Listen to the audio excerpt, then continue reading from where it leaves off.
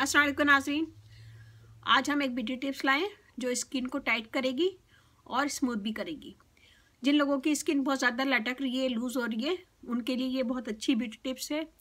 और इसके लिए मुझे चाहिए कॉर्नफ्लावर डालूँगी एलोवेरा जेल बादाम का तेल डालूँगी थोड़ा सा मैं, और शहद।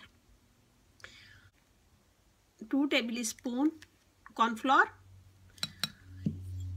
यहाँ पे येलो वाला मिल येलो वाला भी मिलता है और वाइट वाला। तो मेरे पास येलो वाला था कॉर्नफ्लोर तो मैंने ये लिया। इसमें हम डालेंगे आलमंड ऑयल बिल्कुल थोड़ा सा।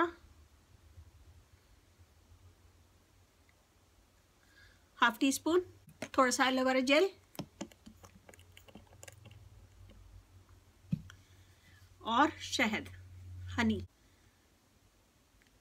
हनी डालेंगे हम हाफ़ टी स्पून और यहाँ मैंने थोड़ा सा नीम गर्म पानी, इसके साथ में इसका पेस्ट बना लूँगी।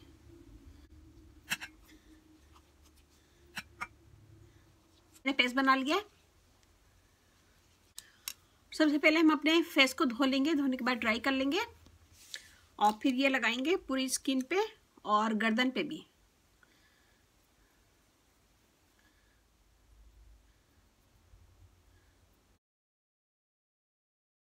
पंद्रह मिनट में ये ड्राई हो जाएगी।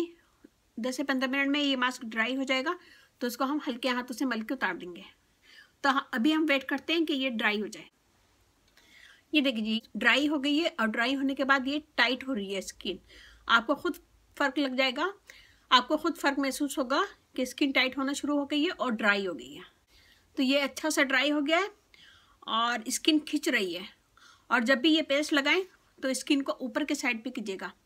ऊपर के साइड पे ले जाएगा नीचे से ऊपर के साइड पे, ताकि आपकी स्किन ऊपर जाए, लटके नहीं। तो मैं इसको हाथ को हल्का सा गीला करूँगी और इसको रब करेंगे।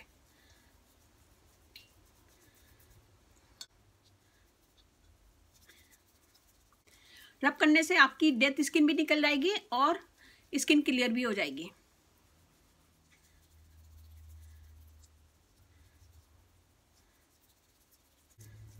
मैं इसको अब धो लूँगी। ये देखें इसकी।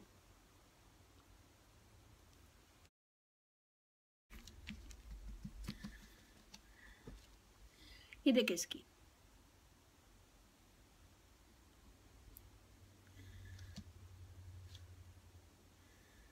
स्किन पे आपको फ़र्क लग रहा होगा। स्किन बहुत अच्छी और टाइट महसूस हो रही है मुझे।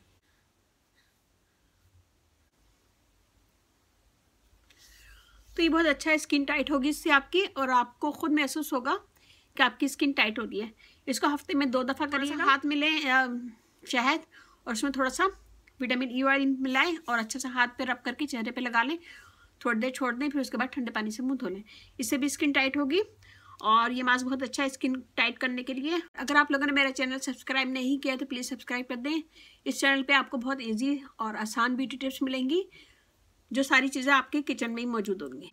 मेरा फेसबुक पेज है, उसे लाइक कीजिएगा। रानी ब्यूटी टिप्स वहाँ पे भी बहुत सारी वीडियो अपलोड है, वो भी देखिएगा। तो ये बनाएगा मुझे बताएगा कैसा लगा। अच्छा लगे थम्स अप कीजिएगा कमेंट दीजिएगा। मेरी वीडियो को अपनी फैमिली फ्रेंड में शेयर करें। और ज़रा सी भी अच्छी लगी मेरी वीडियो तो कमेंट दें। मेरी कोशिश होती है कि मैं सबको आंसर दूँ।